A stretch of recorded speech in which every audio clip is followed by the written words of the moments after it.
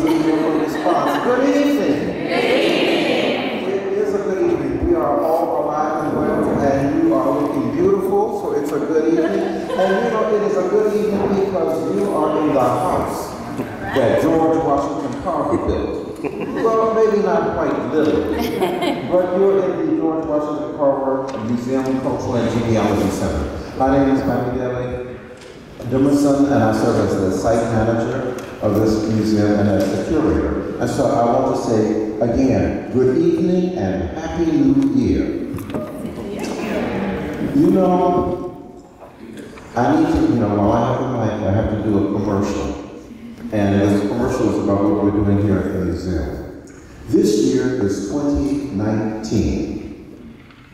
It is the quadcentennial of the first arrival of peoples of African ancestry in English-speaking North America. 400 years ago, the world had never heard of an African American. So history was made although they were the unwitting participants in that history. It was 1619 in the vicinity of what we now call Jamestown, Virginia, that a European seafaring vessel dropped anchor into the muddy waters of history and disembarked 20 or so captives. This was the first shipment of a continuous wave of people who would become enslaved in North America. At the Carver, all of our programs in 2019 are in some way dedicated to that observance. And so this is a historic year. And although we will not be looking back to 1619 for every program, what occurred in 1619 certainly prefigured what we are doing here today. And so therefore we cannot forget history. We shall not forget history. In fact, my the spirit of my ancestors will not allow me to. And so without any further ado, I want to also say, uh, I want to thank you for your presence tonight. And before uh, to hear from Big Medium and Sightlines, I do want to take time and state that this is the week of the birth of Dr. Martin Luther King Jr. We are holding this forum tonight to also reflect on his legacy and ask the query that he asked so many years ago, where do we go from here? And that's an important question. Where do we go from here? Let me say thank you to Big Medium, and thank you to Sightlines for their organizational efforts that have brought tonight's deliberations into focus. This is not a new discussion, but an important one. It is one with varying perspectives. It is one with varying approaches it is one with many nuances and perhaps some even seeming contradictions. So, I want us all to put on our caps of revolutionary consciousness, and in so doing, be respectful of the perspectives that each of us have to offer tonight, uh, each of us has to offer tonight, correct English language, and in so doing, have a most important and fruitful discussion. Thank you.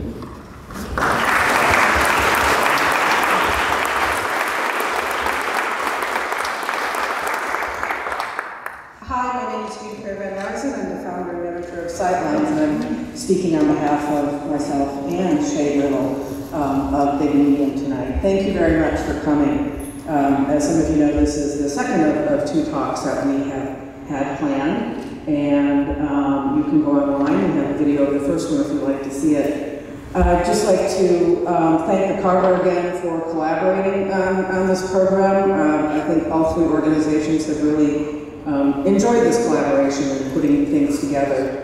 Um, it's, it's been a delightful, a delightful opportunity. Uh, tonight's speakers, um, our moderator or facilitator for the evening is Priscilla Hale. Priscilla Hale is the, is East Austin native and a longtime community organizer. Currently, she is director of Allgo, which is a statewide queer people of color organization. Florinda Bryant, also an Austin native, correct? No, no, Oh. Uh, Okay. uh, but I've been here too long not to be, Okay. to be guilty. Close, all Uh, right. yeah, yeah, so She is, okay, She is a theater artist and arts educator and has worked with Salvage Vanguard Theater, the Rude Mechs, the Vortex, Paper Chairs, and Teatro Vivo. She is the former managing director of Salvage Vanguard and was with the organization when it lost its space on Manor Road. Her award-winning one-woman ha- show, Half-Breed Southern Fried, was produced as part of the Performing Latin series at UT and was directed by none other, none other than Laurie Carlos. And I believe she has a one-woman show coming up. She can tell people about later. Uh, yeah, any of you artists can, can promote your work from the stage or come up with it. Alan Garcia, down here on the end, independent archivist, uh, native of Austin and creator of the Instagram account ATX Barrio Archive.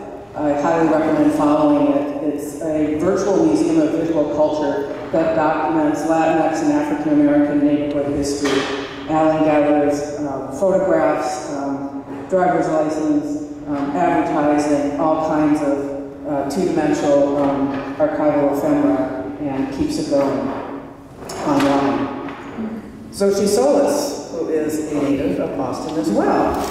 Um, she's a visual artist, who's currently sharing studio time and practice between here and Mexico. Her work includes multi-layered collage paintings constructed of paint and hand paper, hand-dyed paper, vinyl, plastic, and images from found books and magazines. She shows nationally at various institutions, including uh, the Contemporary Arts Museum in Denver.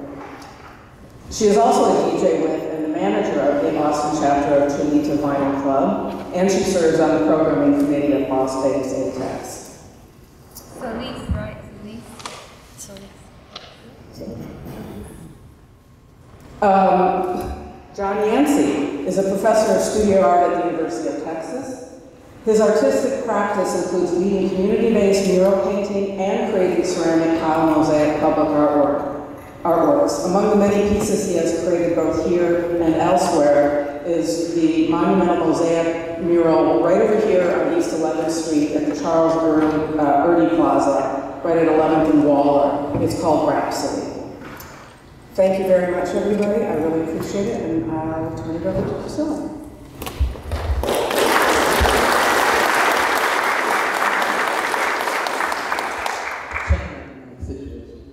So, um, I know my bio didn't say anything about art, so some of y'all might be wondering, you know, yeah, she runs a people color organization, but what they have to do anything. Um, first of all, um, being East Austin, so that has anything to do with anything. Um, and, but the other thing is, um, we have a cultural arts program, uh, and I have been curating and producing the arts program, um, since two thousand and six at Allbrook, and so that's partially why, and that I love it. So, um, so thank you all uh, for being here tonight for a conversation on placemaking and displacement, a public dialogue. And so, I'm so happy to be on the panel with uh, these great folks doing great art in the city, and those of you who are in the audience who are doing good work also. And so, um, we have questions, so we can, you know, I'm, I'm a community organizer, so this kind of thing is like, you know, whatever. Um, so we'll just do this how we feel, right? Um, but also, I think that I would, I think I need to put this out there. This is a series of conversations, and so this panel is not going to be representative of all voices, and we're not going to cover all aspects of everything tonight. And I'm happy that there is a series because there are many people who um, deserve to be on the stage and who will have the opportunity to do that. So we look forward to the opportunity for folks to be able to um, share other perspectives that may not be shared tonight. So just want to put that out before we move forward. Um, so we can just kind of start with the question. Um, everybody doesn't have to. What's the, how much time do I have? Okay, I just want to make sure that, you know, I'm a taskmaster too. Um, so big picture and detailed, so um, get it done. But I want to just know that I'll just kind of answer, um, read the questions, and we can, folks can just kind of chime in. You may not have something to say about everything, but would love that. And I and I may direct this, direct the question so directly at folks. And so um, here we are to talk about the displacement arts and placemaking. Um, so first question is, how can the Austin arts community work positively and work together within a city in which profound economic and cultural displacement has occurred and is occurring. So, um, anybody want to start that? I'm gonna, after I do this, I'm gonna pass the mic in case Miranda wants to talk. Um, I think that, oh, that's nice. Hi, theater artist, nice and loud. Yeah. Um, but yeah, before I give my answer, could we all just take a deep breath together? Let's go. Can we take a deep breath? Everybody breathe in. Everybody breathe out. We'll do it one more time. Breathe in. Breathe out. Because three is good. Last one. Breathe in. Breathe out, shake your shoulders, move your body, body good, and here. This is that's a heck of a question, is it not? Um, you have to di- di- dissect it and be like, okay, so what is the right way? Um, I think that uh, the answer what I'm going to speak to is from the personal. Um, there are a lot of systematic issues that we could kind of go in. I think we all know what those are. Um, and so I think that the only way I can feel empowered as an artist and previously as an administrator is trying to really focus on what it is that I can do. Um, and so knowing the constraints of the city, knowing how systematic racism has affected people of color here, how it affects the artists, all of the education. Um, so what are the opportunities that you can a brick in the door? Um, what the opportunities that you can use, whatever privilege it is that you may have, whatever access to resources that you may have that someone who does not look like you, uh, does not have share your representation, may not have access to? When, what is your personal commitment to making sure that you are holding space for someone else um, to maybe share the resources that you have, um, have an opportunity at the opportunity that you have? Um, to go a step further, what I am also seeing quite clearly is going to require us all say, oh, hey, I want that. Pause and say, hey, who also wants it and doesn't have the opportunity to get it like I do and quite possibly deserves it, maybe a little bit more in a different way than I do.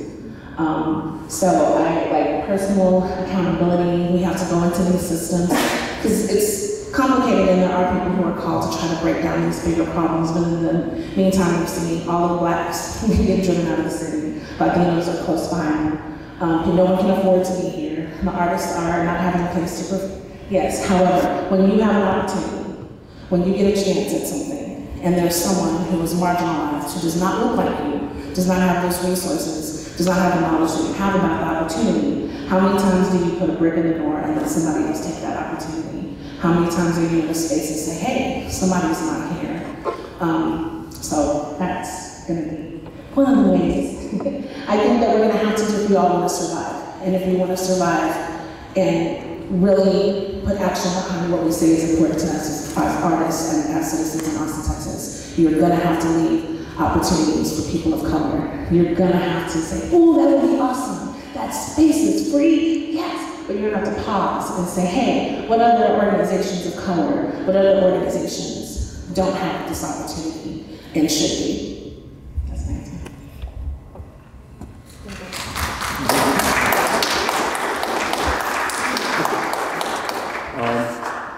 I appreciate those comments because I think that uh, while we have stressors and there's been connections between the arts and gentrification throughout history in every city, in Austin, obviously, it's exacerbated by the racial history and, and by systemic racism that kind of creates another layer of complexity.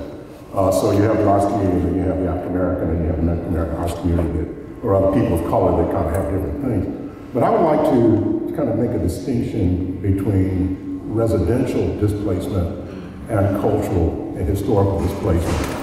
Uh, to a degree, uh, one is about economics, the other is about erasure in a certain way. Uh, the economics of this area are extraordinary. Uh, I've lived in this area for 20 whatever years.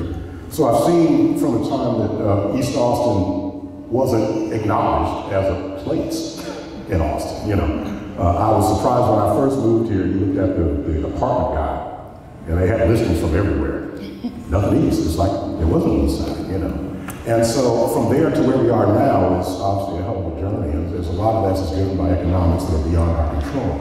But the cultural, the historical um, displacement or the erasure are things that the arts community can play a special role in. And, and it is attempting to, but I think that those efforts have got to be very robust and acknowledge the fact that racial inequities don't correct themselves. Uh, uh, those asymmetries those imbalances don't correct themselves. They take extremely proactive, conscious, self-reflective, oftentimes painful, uh, look in the mirror as ourselves as a society city to kind of acknowledge. So, you know, just, I think that there are other questions that come on. I'm not going to go on with that. We'll move to other stuff. Yeah, I, I think I really enjoy that perspective. And, and one, I just wanted to say thank you guys, the colleagues here that I have here, that are in conversation with me, um, and also for you guys showing up and wanting to be and engaging in this conversation in a, I think, uh, hopefully in a constructive and, and compassionate way. Thank you for that breathing exercise. I really needed to breathe, actually. Um, and as, as somebody that has familiar history with East Austin and also being an artist and basically like contra- like many of you guys contradictory co- contradictory like you know I live in contradiction you know and, and I think that was the challenge most challenging thing about being on this panel was that I have um, I have multiple perspectives on the issues of displacement and gentrification um, being a product of displacement, but also being an agent of it as an artist um, and, and working in that industry. So I've you know taken a lot of time and care and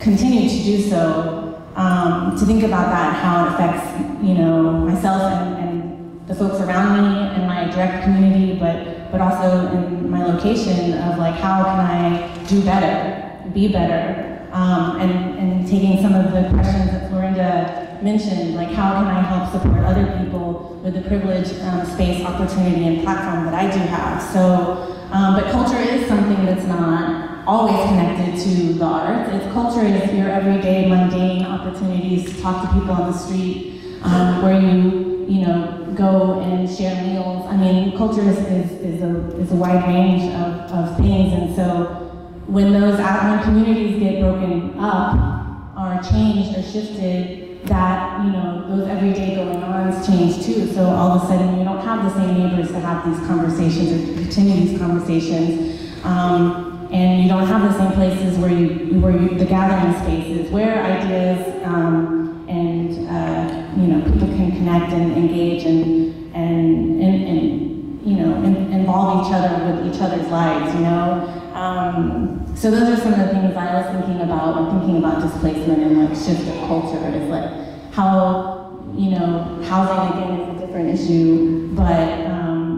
what is really the cultural fabric that's disrupted and, and displaced when developers and other things come in and change and shift a neighborhood in a city? Uh, I was thinking of this today you know, I'll be honest, it's really hard for me to participate in arts events in the city sometimes. Things like the East Austin Studio Tour or events that, you know, are taking place in East Austin on the east side, uh, especially like formerly industrial sites. It's something about it that I guess I stay away from because I'm still, I'm someone that's interested in learning about the past, and how these spaces affected the neighborhood, I guess, it was before gentrification happened.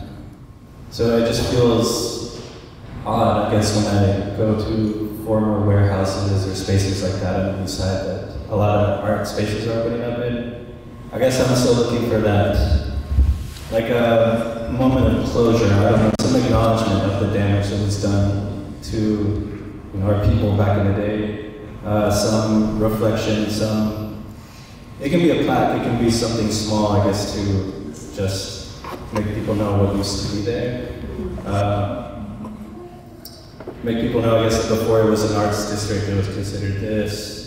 Um, if there's a way for the arts community to maybe address that tension or that uncomfortableness, that I feel, I don't know if anyone else feels, but it's just hard for me to join, I guess, as someone that grew up here it's I'm still getting used to it. And you know, I'm someone that grew up. I'm like a child of Austin museums. You know, I went to the Children's Museum.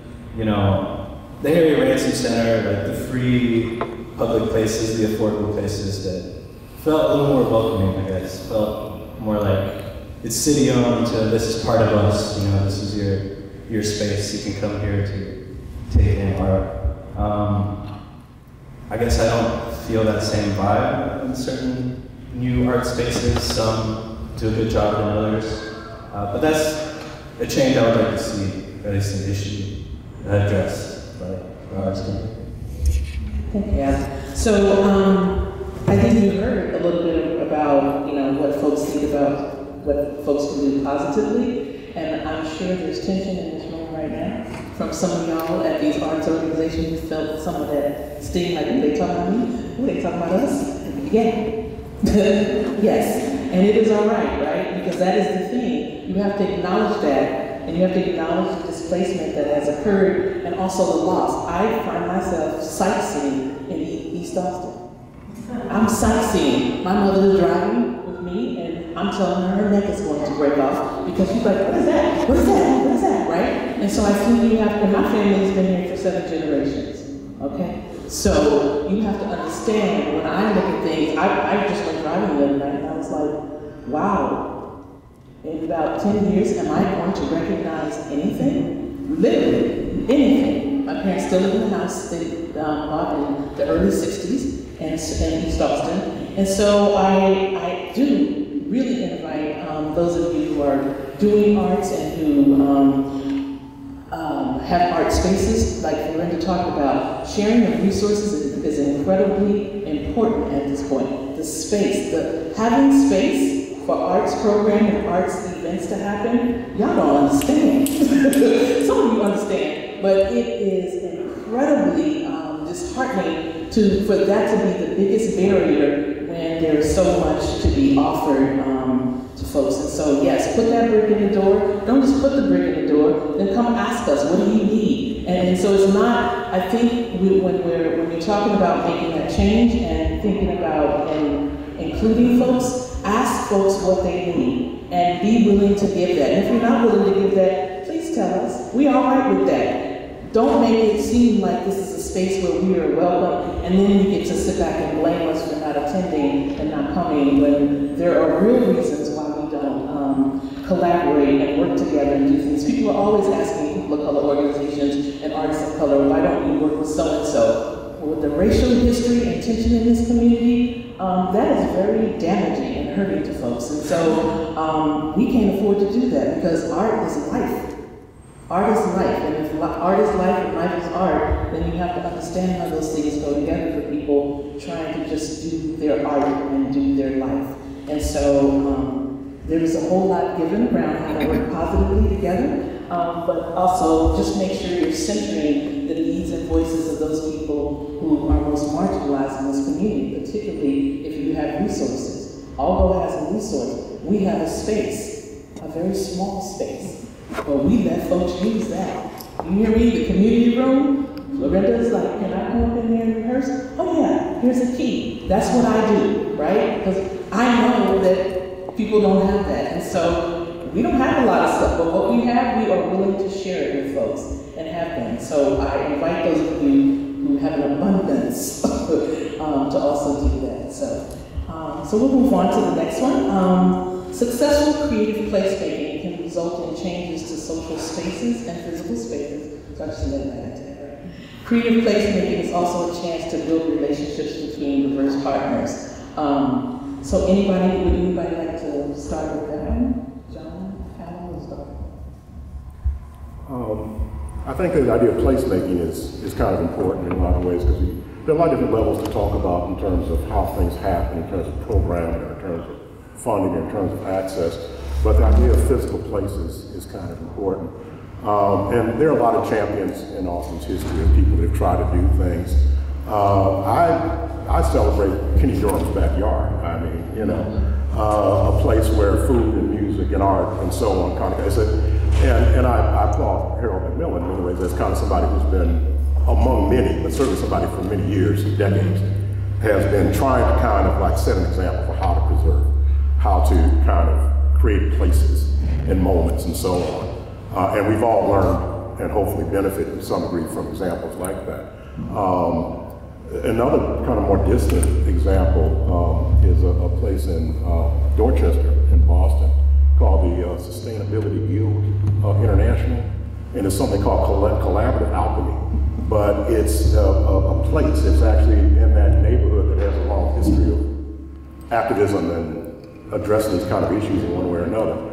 Uh, and it's a physical place that actually deals with a holistic notion of kind of communal well-being. And so there is kind of an idea of factors that sometimes miss. And we heard a little bit about that, is that when you talk about collaborations and you talk about placemaking or you talk about kind of trying to kind of reach across uh, cultural, racial borders, there has to be a sense of kind of mutual respect and eye-to-eye -eye agency that has to occur. And, you know, this place is is kind of, or these examples, I think, are things that attempt to try to kind of create those eye-to-eye kind of issues. But those are just two examples of physical placemaking that I think are really good examples to look at.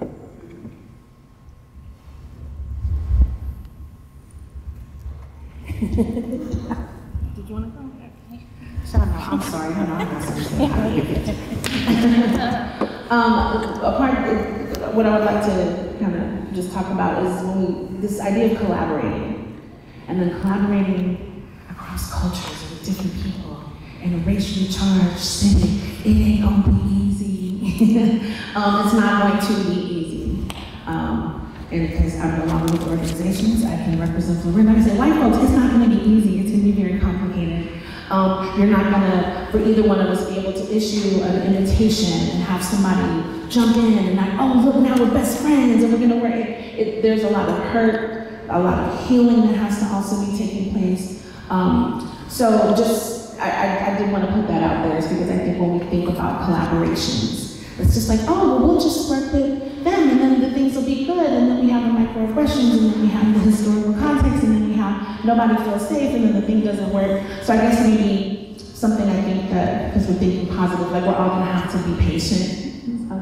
Like this, it's gonna require a lot of patience and a lot of hard work. I think it's gonna get worse before it gets better because things just always do.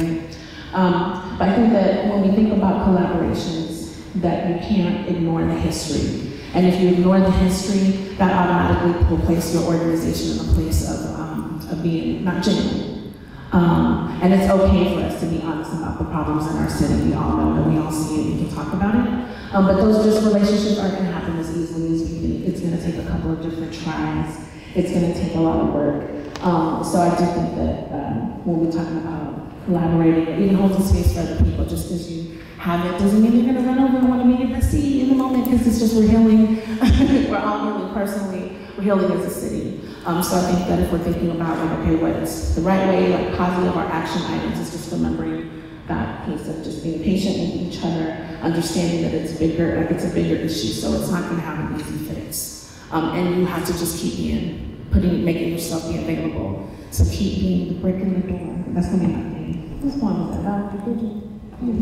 That's just an old obstinate. Um, so I do want to throw Valerie Bridgman uh, just out there because I do think that that's something from her um, that I learned from one of my elders. Um, but yeah, it's not going to be easy, and just having the space is not going to, or making showing up. You're going to have to keep showing up and keep showing up, and then also when we're talking about just placemaking.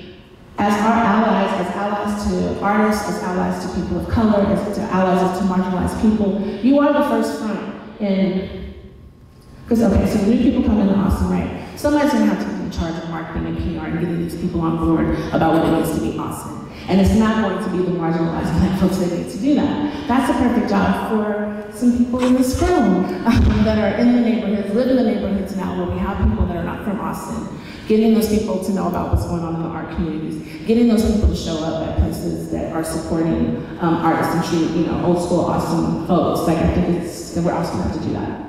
So yeah.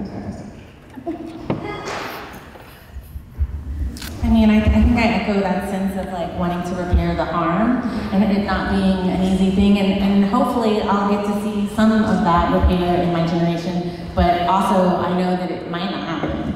And coming to terms with that reality, um, but also acknowledging like the imperfections of like whatever solutions that we do try, like they're not going to be perfect. And you know, I will I will speak to like thinking about thinking about coming into a neighborhood or a space that you're not native to or not from, and there's a fine line between fitting in with a neighborhood and appropriating it and and what kind of placemaking that creates um, by appropriating the brand of whatever being in East Austin is, or in particular areas of East Austin, appropriating the Spanish language because you think that that's going to somehow communicate that you're part of it, but you don't know its history, things like that. Those things can be very painful. Mm-hmm. And so, and, and you're right, the conversations aren't going to be, you know, as much as, as much as I'd like to believe that you could just go and ask those people, the people that are native to the neighborhoods, what they want. Sometimes that's not on, that's not, not on the first thing on their mind. It's like telling somebody what they want, and sometimes they don't know what they want. Um, and it's I think that patience of like trying to figure things out together because I don't I don't know 100% if there's there's any way to stop certain things that are in motion currently in the city. So that doesn't mean that there isn't always room to repair and to do things better and to, to make progress be better. But there is going to be some problems and imperfections happening, even in any, any of our work with sitting here. So that accountability is important to have.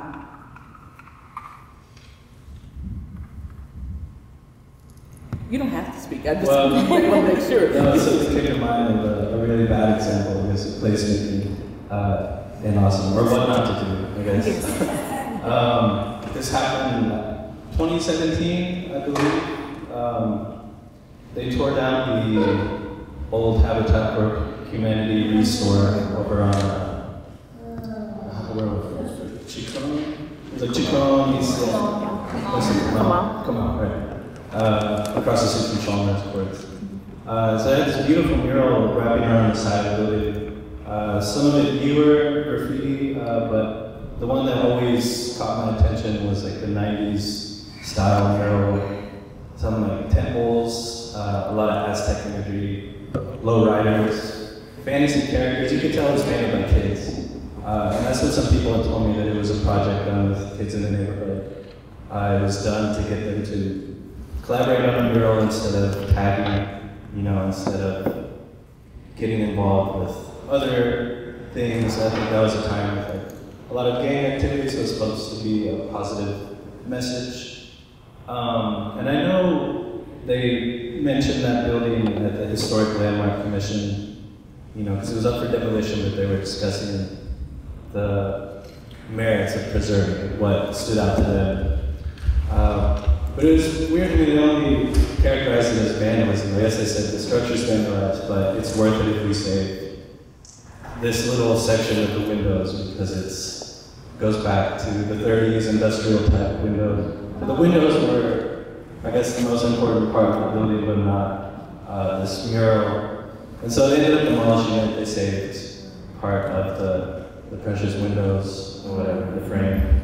Um, but then I saw like some website or some like Instagram post, Cielo Property Group.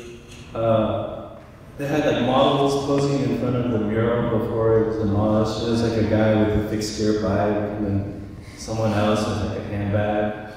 Um, it was like the same people that demolished the mural are now trying to Market. include it, yeah, market it and say like live here, live east, or just this is the place to be. Uh, and it was really offensive. It just made me mad. I know it made a lot of people mad online. Um, I shared because I had shared photos of the mural just to, I guess, as a call to anyone in the community, you know, that this is a neighborhood landmark. It's about to be torn down. Uh, so take photos and just, you know, people commented memories and stuff. It was just interesting that they didn't take photos of Chalmers Court. You know, they didn't take photos of the Comal food store. You know, that's at the same intersection. That's the same block, but they just selected certain things, and I guess you know I didn't see people like us in the marketing or anything. Uh, so they definitely got called out. I think they removed their tag from the posts uh, online, but that was definitely a bad example of placemaking on the east side. what not to do. What not to do. we can call it what not to do. Uh, so um, the next question we'll focus on is around um, each of you, your artistic practice around cultural work and how you are, how you might be addressing um, changes in Austin um, around um, the urbanscape and historic communities of color and economic um, accessibility. accessibility. So um, maybe we'll start with you, Xochi. Me? Well, um, my, I'm an artist that works in paint and collage, so I work a lot with uh, found images and the way that I use and employ found images, specifically in the last um, you know decade that I've been making work, uh, is is thinking about what these images tell me about my heritage and like how I'm learning a lot about my Mexican heritage through information being fed back to me in um, like Time Life books and National Geographics, like seeing myself in these pictures, but in these like very confusing ways and and sort almost like alternate realities, but also trying to glean out of them as um, as images um, what part might be true and what part isn't, and how I can utilize them with the gestures of paint that I use to retell a story that's uniquely mine and my perspective. Um, but in, in that work, there's, a, I mean, as you know, Alan, like looking at images of, you know, the past, you learn so much in just the image not to mention like the credits that you're reading or who the photographer was or whatever snippet that that editor of that you know informational book um, wanted to say about a particular region of Texas or um, Mexico, which is specifically what I seek out is a lot of books in, about the Southwest, um, and because I do spend time in Mexico, like thinking about how I can learn about myself, but also like um, refute that in a way, those messages, those um, visual messages. And then also just being in my practice and, and you know, I have a background in doing art administration and education and, um, and, and work, I think, you know, for me in my practice, working collectively is really important to me because I get to continue learning from other people and having conversations that are outside of my studio practice um, and into the practice of organizing other people, but also learning a little bit more about myself as a cultural producer and how that affects other people. So it's a constant um, process, I think, and I think being able to give yourself as a creator, as a producer, the flexibility to be able to make mistakes, and I know I already said imperfections and mistakes, I think there's something really important about humbling yourselves, whether it's you guys in the audience um, I certainly do. I try to humble myself and not think that I know everything because I don't. And I'm constantly learning, or like I do in my artistic practice, unlearning things that are, you know, being taught to me as truth. So um, that's, I guess, how I think about uh, my particular heritage and culture in respect to my studio practice.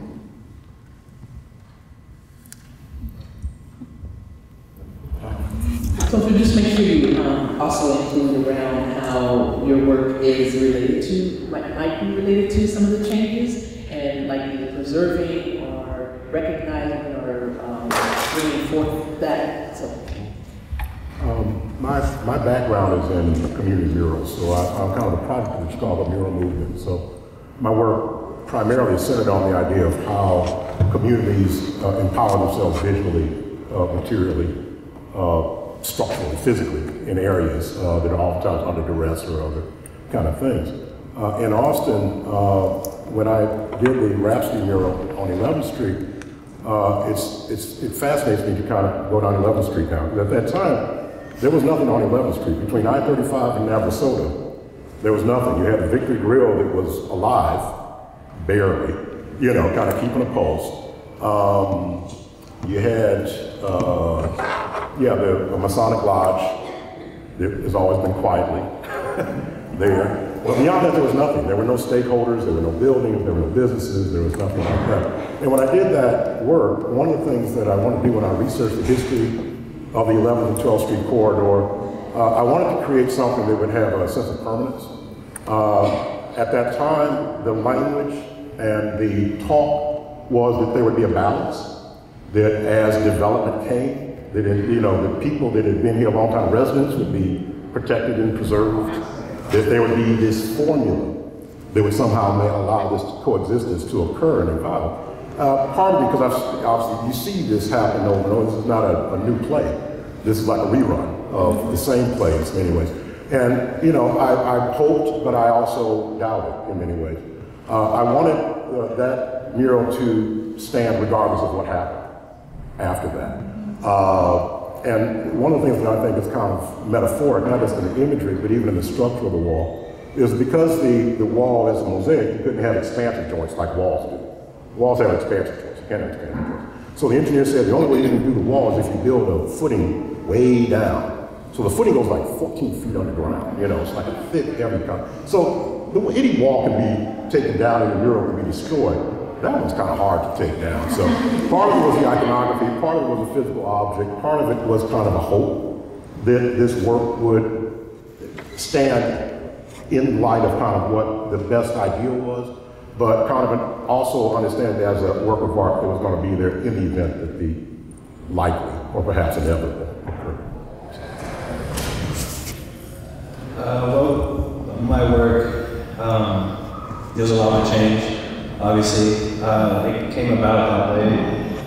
Um, I started the page two years ago, the ATX Barrio Archive. Um, I was just, you know, really frustrated, I guess, how fast everything was going away, know, getting uh, demolished, the displacement. Um, I've always been interested in just history, reading Austin history, find whatever I could at the public library. But it was hard to find things about, you know, Mexican Americans, African Americans.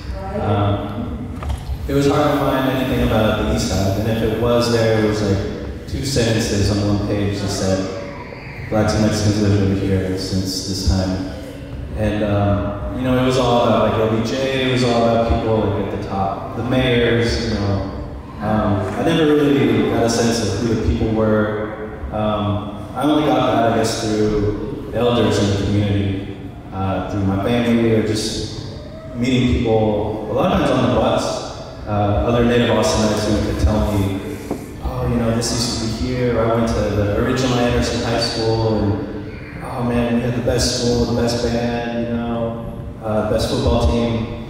So I created it as a way to kind of just compile all those stories, photos, artifacts that I wish, you know, I could see in the museum or in a book, uh, have it there for others to see, uh, and also for others to add to the story too, because I'm, you know, there's only so much I can do. I feel like that's been a joy too to have people recognize their family members and all the photos. Um, you know, share memories in the comments and stuff. Um, I, I don't know how it came about starting this. I started using this hashtag. It's not national or anything. It's just like it came to me. I guess to call something a, a barrio landmark. You know, when talking about local restaurants, community murals, even an intersection in 12th and Chicon, you know, it's, it's a neighborhood landmark. You know, Como food store, neighborhood landmark. Um, it just kind of clicked with me as being different from Austin landmarks. To me, Austin landmarks, I guess that always stood out as being very touristy. You know, it's in any of the tourist materials, I guess they only use Barton Springs, the capital, um, like the hills or something, maybe a Whole Foods. Uh, they never really faced east. You know, they never really looked at the bottom of the working class spaces here. Um, so yeah, I mean, it was meant to just pay respect to to these neighborhoods, to the people. Um, the name kind of was a tribute to the Museo del Barrio. It was before my time. Uh, I don't know if anyone remembers it here. It was sort of like the Mexican American Cultural Center before it existed. Uh, it was on East First Street, East Chavez now. Uh, they did a lot of the same work, uh, a lot of uh, Chicano art, a lot of family history on display in their gallery. Um, a lot of celebrations for Dia de los Muertos, Mexican Independence Day. Uh, but it doesn't exist anymore. I mean, it exists in people's memories on paper uh, at the Austin History Center. But it was that idea, you know, to pay respects to the people that were doing this type of work before me, you know, documenting the history of the barrio, and, you know, to have it exist digitally, you know, because just the thought of having a, my own physical space just seems impossible, you know. I want this to be in a museum, you know. Um, I'm grateful that the Carver reached out to me in the past to collaborate on an exhibit. Uh, but this is stuff that should have already existed, you know, in a museum. Um, I shouldn't have found it in like thrift stores, you know, or just kind of for sale photos of like old restaurants, you know, on East Sixth Street. Um, so it's just a virtual museum for for the people mainly. Um, you know, I don't profit off of it at all.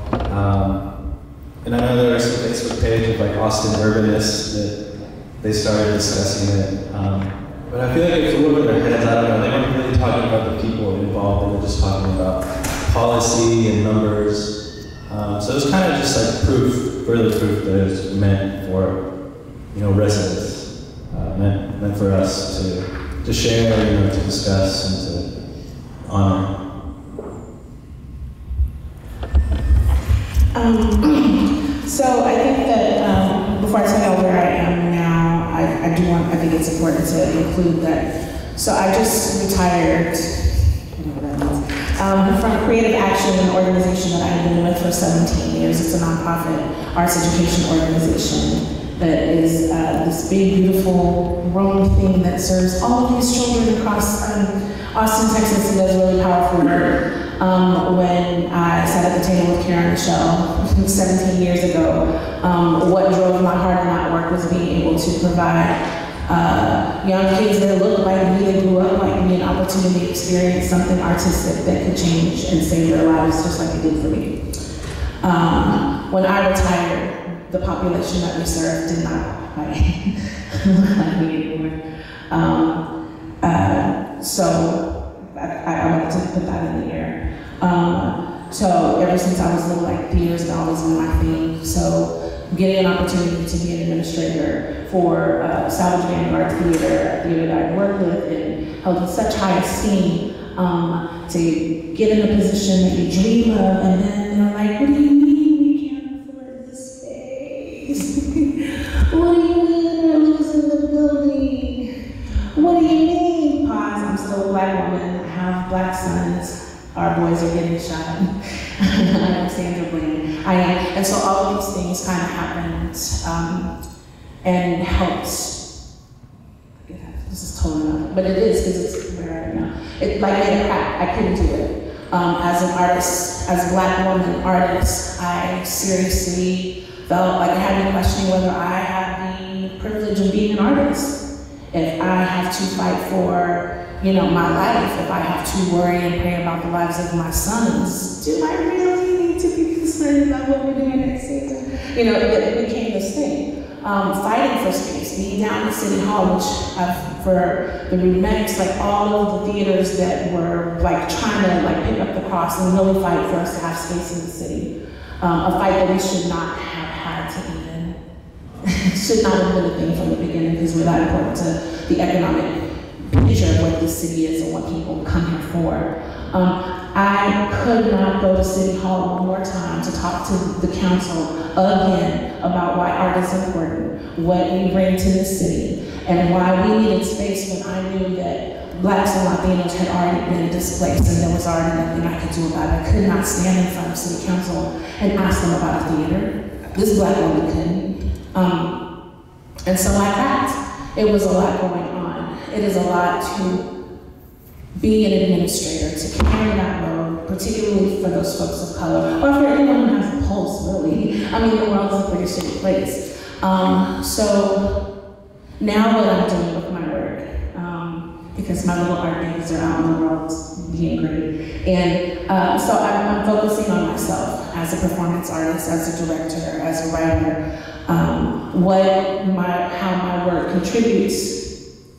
to the, the preservation of what it is in Austin. Like my stories live in my bones, they're in my blood.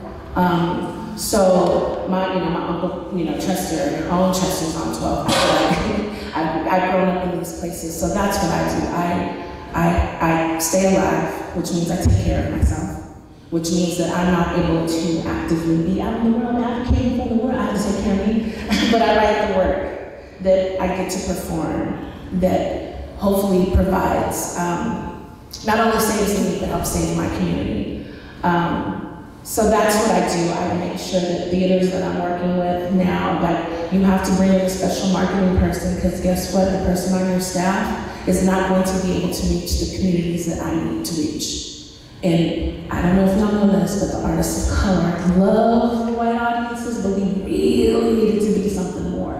Like please use, I mean, I demand the, the people that I'm working with, I ask, you have to go above and beyond. You're gonna have to market to people that you don't market to.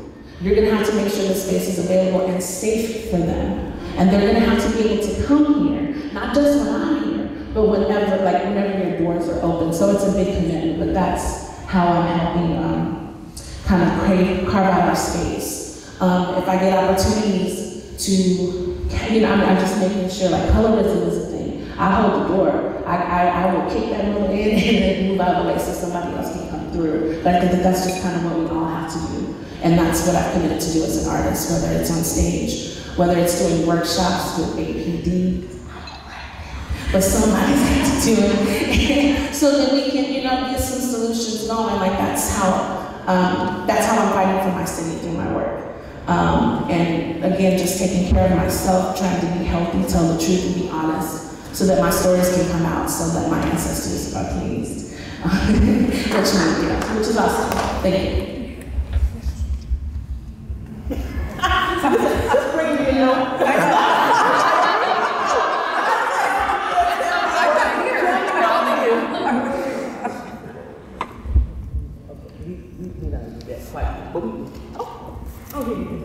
So I'm bringing that over. So now I'm gonna tell you because because my life is just an open book, and I'm trying to save me, and I'm trying to save the women that look and live like me. So I do. I'm like, I know. Let's write a play about it. So I am doing a show. Literally, like, it's called Black Do Crack because we do crack, we do break, um, and we have to in order to save ourselves. And so it's a show that I'm doing um, at Ground Floor Theater. I'm just gonna open February 14th. But um, and I got this with at the Boss Babes because I love them. but including the writers in my contract, we have to hire a marketing person. I need you to put money behind your word. When you go back to the people that gave you your money and you say you have diverse people coming to your theater, I want to see that. And, um, and, and, and people are saying yes, which is also a difficult thing because there's also fear when you ask for that. When you're like, hi, yes, thank you for letting me use your theater, but I if you more money because I need more black and brown people in here, um, it's a risk. So, and people have been great about it. So shout out to Ground Floor, my most recent ally in that work. They are. um, so yeah, no, they were slipping me a note to do something. So, I'll just, uh, but we just- we keep moving on for just a moment. So, there's a question, the next question, which is problematic in my opinion. So, I'm gonna read this question a little bit. So, it talks about strategies individual artists and art groups themselves um, often facing affordability issues in Austin. Like, what are some of the things that we could adopt um, around uh, to limit the displacement? I don't know what the hell I can do unless you slide me a million or two. That's right. Okay? So stop asking me for the solutions when I'm not the problem. The issue becomes what do folks need to do who are doing the displacement need to do in order to ensure that this community um, stays culturally relevant to everyone? And so I don't, as moderator, take that privilege to not um, entertain that question and put that back on the folks who um, are participating, and some of you are participating with the displacement in ways that you may not be aware of. And so um, it's often this thing about um, folks of color, artists, people who are marginalized, that we are not doing something. We are causing the problem. That's some deep shit. I'm sorry. Oh, Lord. That's, I'm sorry. Um, but it, it perpetuates this whole thing around asking folks of color to, to, to tell you about racism, to figure out the racism issue, to work through that, when that is not our work. That is the work of folks who are participating in that, but who also are in places of privilege to, um, to make those changes. So I invite you all to take that question and, and to share it with the people you have contacts with about what is it that you all could do to eliminate, to slow down, um, to change the trajectory of the changes in the city that are displacing black folks and Latinos and other folks, and just making it completely unaffordable for people to be here. I don't know how many artists lives. Um, I'm sorry. We don't. And so, um, and so yes, and so I, so that was a question that I had just decided to kind of move past. Um, so I Can we give it to them? we will give it to them, but we're not gonna give it to them. Yeah. So that's y'all's question, so some of y'all might want to speak to that. Um, and so I do, can you, can you hold that just a moment? Okay, tenant that You're what? on Riverside. I'm, I live on Riverside. I'm right across from that is the Riverside Arts District. And in fact, actually, one of the people here, uh, part of the medium, um, Shea Little, hi, um, is, uh, well, was on the share, was a share on the board of the Austin Creative Alliance, who is partnered with the Riverside Arts District that seeks to displace the working class apartments that are right across from it. And I think that's a pretty big elephant in the room, that Big Medium itself is hosting a panel against gentrification when they themselves have been, in a way, aiding gentrification. So can I, in the Riverside area. with your permission, can I, I could have a perfect way I'd like to lay this out? Go ahead. Because I think that it would be really nice to take advantage of everyone in the room being able to have joint conversations. So I would ask that you and you could partner with me, and we're gonna talk. But everyone find a neighbor next to you, maybe groups of three, and maybe in those groups, have a conversation about things that maybe organizations could do, things that your organization's already doing or is planning on doing to help in this. And then that way, because I think that maybe if you talk to you instead of talking to us. I don't want to talk to somebody who's collaborating on my. Okay, well, you can choose not to, but I want information, so right now we're gonna take about five minutes. So everyone find a neighbor next to you and go ahead and start that That's pretty conversation. good to sidetrack the reality the displacement on in Riverside.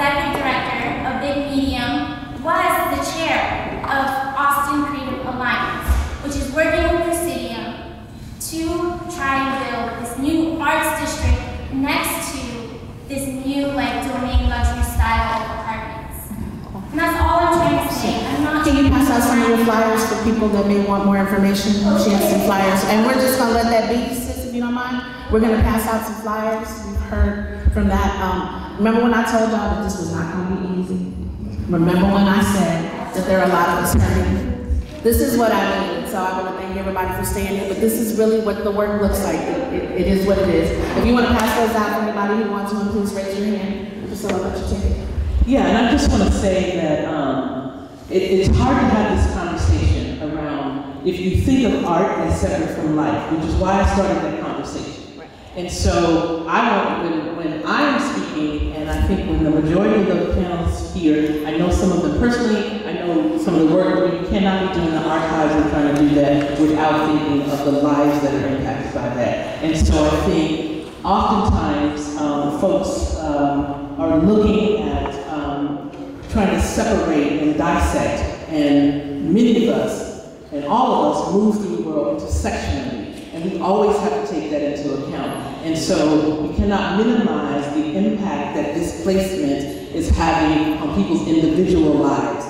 And so we honor that, we recognize that, uh, or at least I'm, I would say I honor that and I recognize that in this conversation. Um, I am from here, I am privileged to have bought my house at a time um, where I don't have that concern. However, I also run an organization where I'm extremely concerned who had to, you know, who has, has to downsize. And so I want to um, acknowledge that, and I think when I started the conversation, that was acknowledging the elephant in the room, which to me is not the elephant in the room, because you can't talk about this without, without, without talking about life and how it's affecting and impacting people um, individually. So I just want to say that. Can I Um, also request maybe a different conversation later, because I do think that that's a. Yes. And And so I just want to know what's going on. Right, and so folks who don't know that, um, please share the information if you, um, and so we appreciate, um, folks trying to give different perspective. We know that organizations, um, and folks have participated in things that people have been harmed by, and, um, it is our right to acknowledge that, but we ask everybody to do better. Um, and, and, and we also know that sometimes folks are not going to do better. They're just not going to. And then we have to figure out, you know, how do we, how do we move forward? And a lot of, you know, what um, people of color often do is, shit, we just do our thing. Y'all go over there and do that, because we ain't got time for that. We doing life over here, okay? While y'all talking about art, and art separately, we doing life.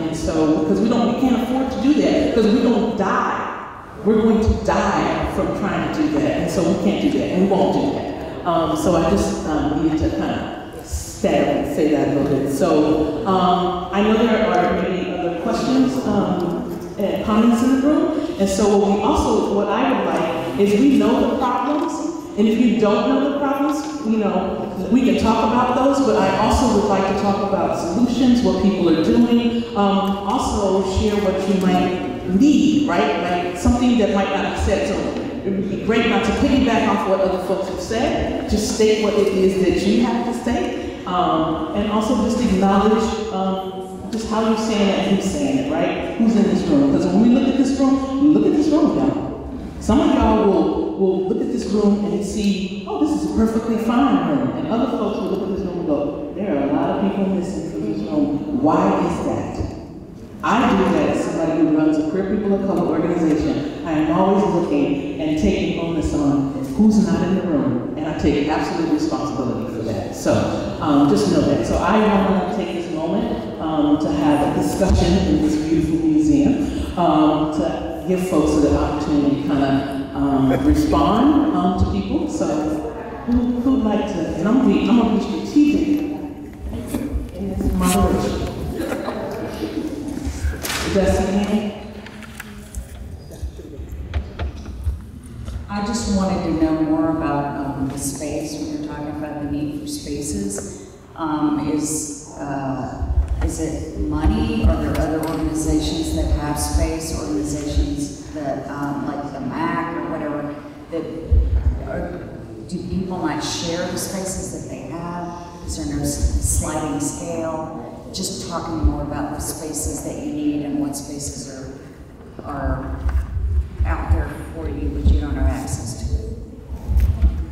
I can talk about the performance.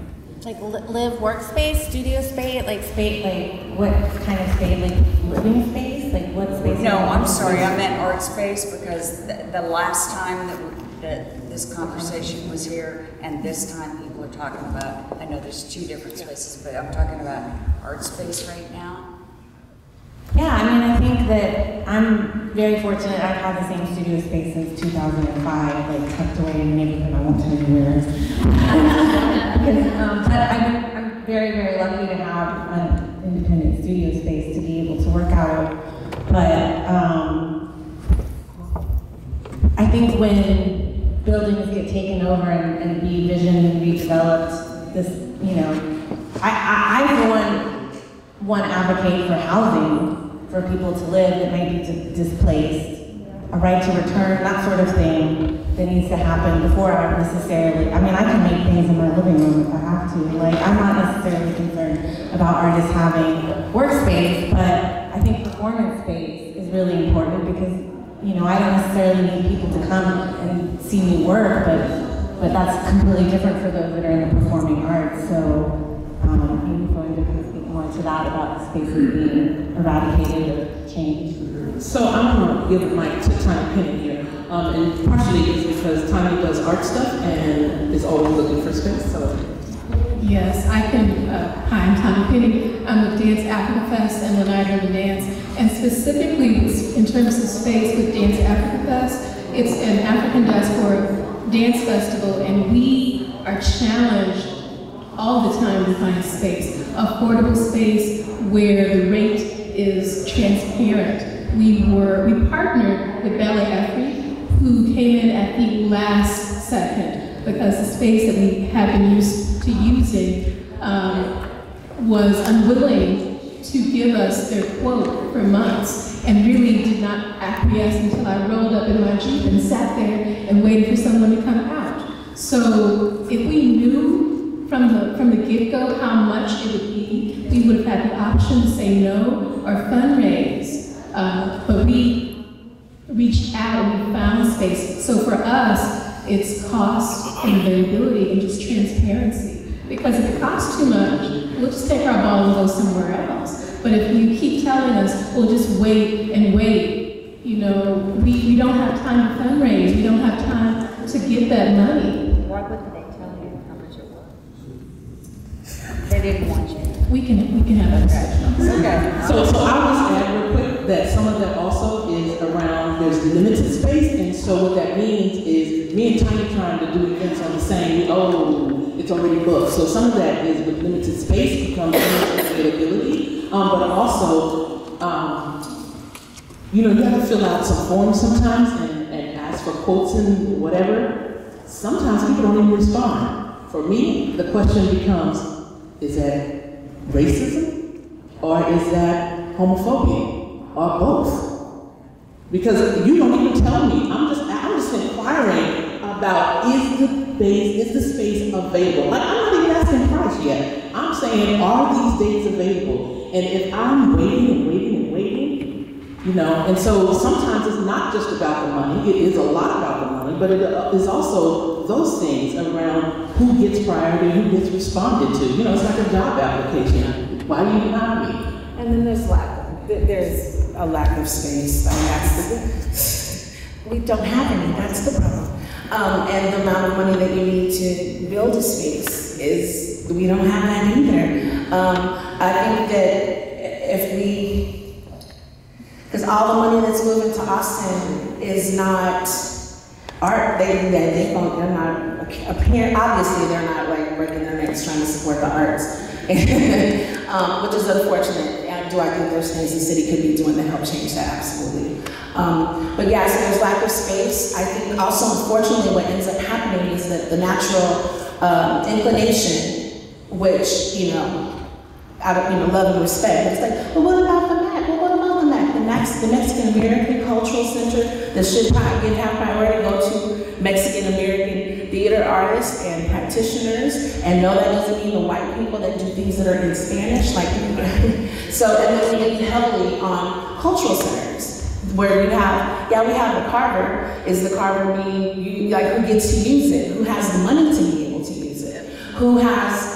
I, I think that the city is definitely becoming better, especially as in a rush to be like, oh, let's do this, like let's create this program, this program to help save, but they don't do due diligence in making sure that the artists of color have access to that information or even know about it. Um, so that's something that I've seen. So there's not enough space. How do we take the limited resources we have, still give priority to artists of color? Um, yeah, so it's, but yeah, no money, there's no money. I wish there was. There should be theaters everywhere. And then smaller theater companies are just trying to pay the artists so they can afford to live here. That's enough fun. Um, let me say relative to the Carver. Carver needs your assistance and your voice at city council. If Carver needs to expand, it won't expand unless it has your voice. If we need more dance studios, we need your voice. If we need more classrooms, we need your voice. Please, let us have your voice. Any other, other?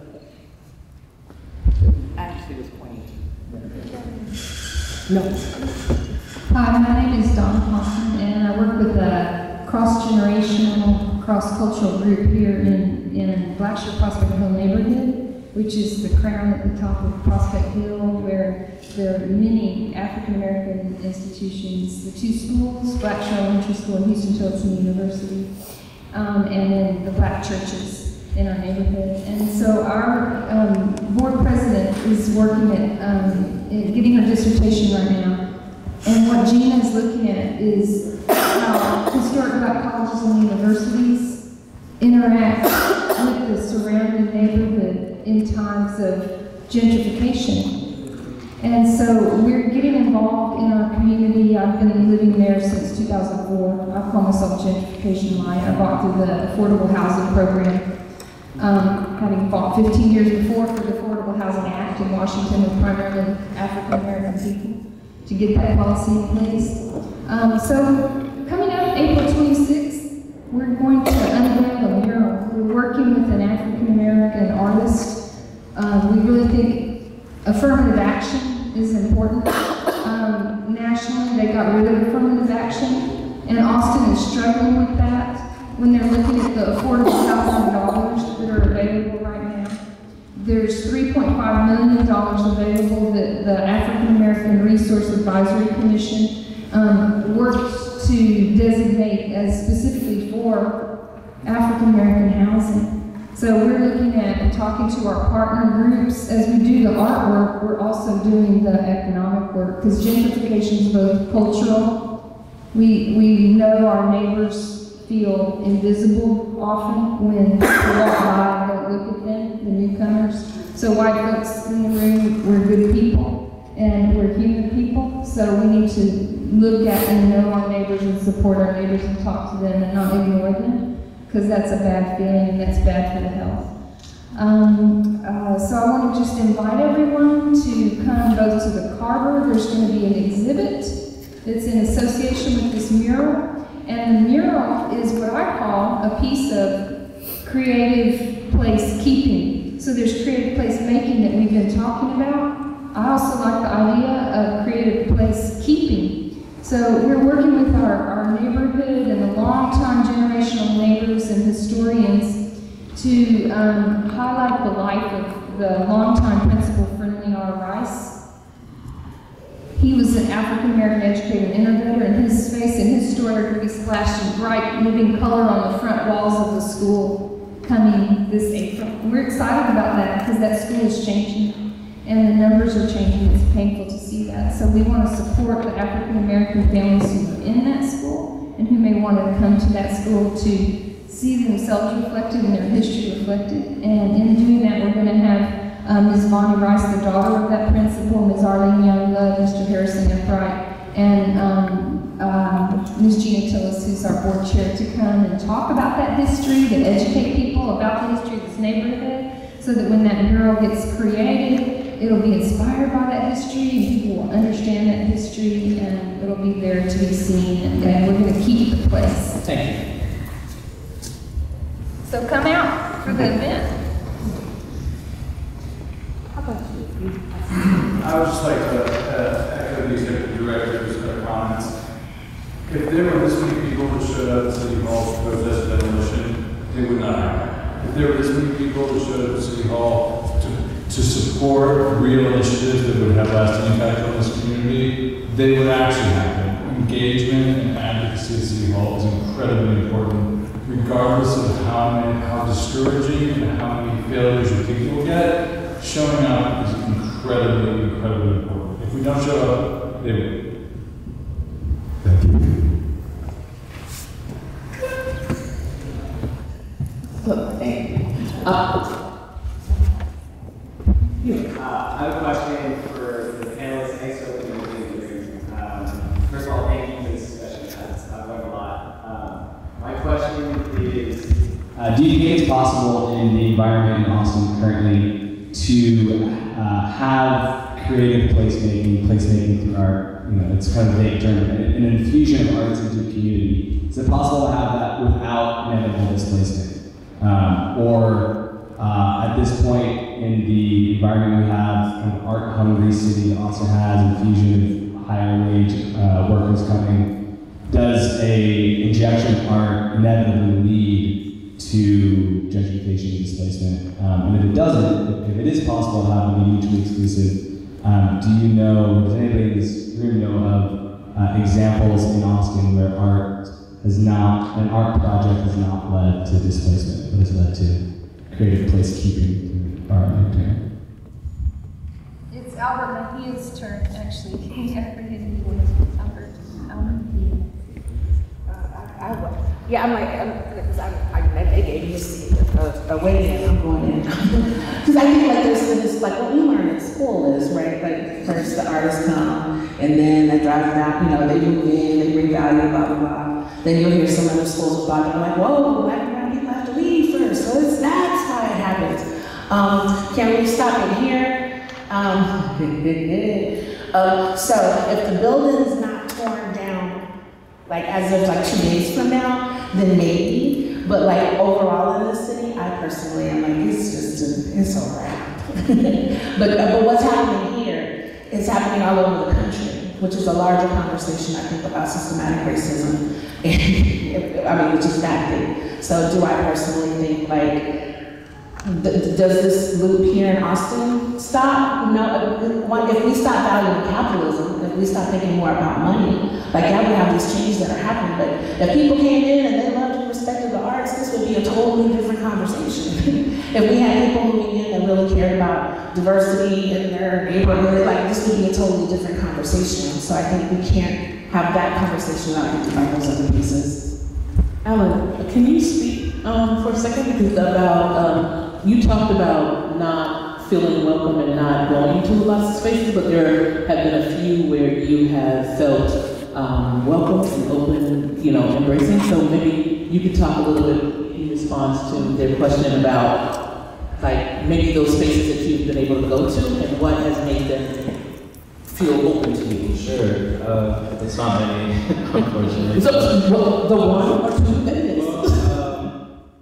It was a while ago, uh, Fusebox Festival did a program related to Luau, my neighborhood. I thought it was really respectful.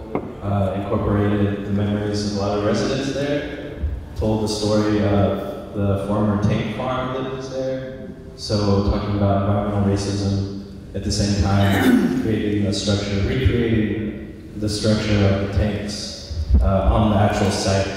Uh, so it's done by artists um, and then some other conceptual work, artwork on the site. I have never seen something like that in the city before, so I want to see more things like that that tackle those big issues, you know, because that's kind of how I feel, I guess, when I walk into a lot of art spaces. That just makes me think of why, you know, railroad tracks, why the warehouses, former incinerators were placed on this side of town. Now they're galleries, but the galleries aren't really welcoming you. Like, welcome to the former, you know, so and so, or acknowledging that that harmful past, that story. Um, so that was very unique. Uh, I'm glad they did that. And I guess the other space I can think of is, you know, the City of Austin Arts uh, and Public Places program. They they restored a, a Chicano mural um, by Holly Street, Power Plant. That was really cool. I didn't think that was possible. I just thought it was gonna kind of deteriorate, um, like most of the other neighborhood landmarks. You know, without any support from the city. The original artists were involved: Robert Herrera, Emmanuel Martinez, and you know, I, that's something that was new to me too. That I didn't think was possible to see something come back to life, supported by the city, um, and not changed at all. The narrative not changed. is still the same, you know, throwback look.